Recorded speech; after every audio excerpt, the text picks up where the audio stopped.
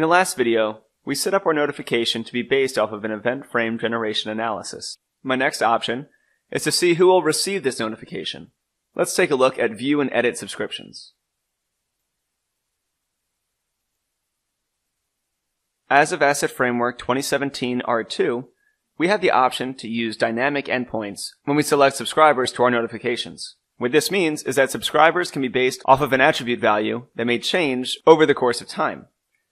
In this particular case, because I am using the calendar techniques asset-based example kit, I have a number of shifts that are operating. What I've decided to do is I can create a dynamic endpoint. I can select an attribute, in which case I'll choose my active crew attribute, and I'll show you what this looks like. I can give this endpoint a name.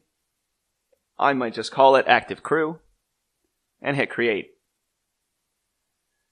Once created, I can drag and drop as my subscribers, and I can hit OK.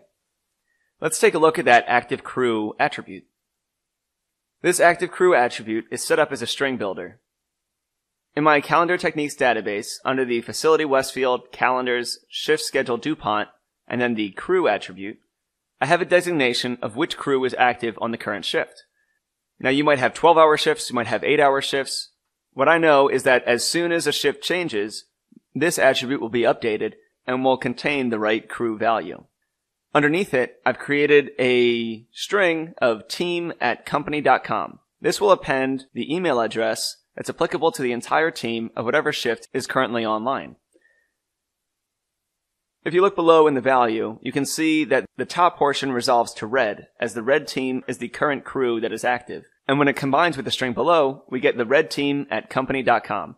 That is the email group that I'd like to send my notifications to, and I want to make sure that I only send it to the active crew. That's why this dynamic endpoint is so helpful.